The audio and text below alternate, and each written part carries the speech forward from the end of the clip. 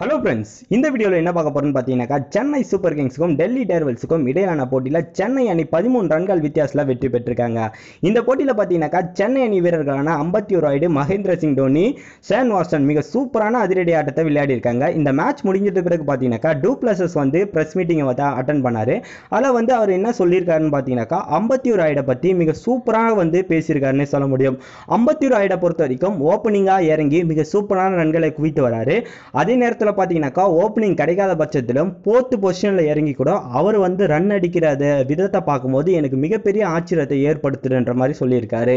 அதாவது பார்த்தீங்கன்னாக்கா opening இறங்கினாலும் score பண்ண முடியும். பட் ஆனால் மிடில் ஆர்டர்ஸில் இறங்கி ஸ்கோர் பண்ணுறது மிகப்பெரிய விஷயம். அது உலக கிரிக்கெட்லேயே ஒரு சிலரால் மட்டும்தான் பண்ணிட்டு வர முடியுது.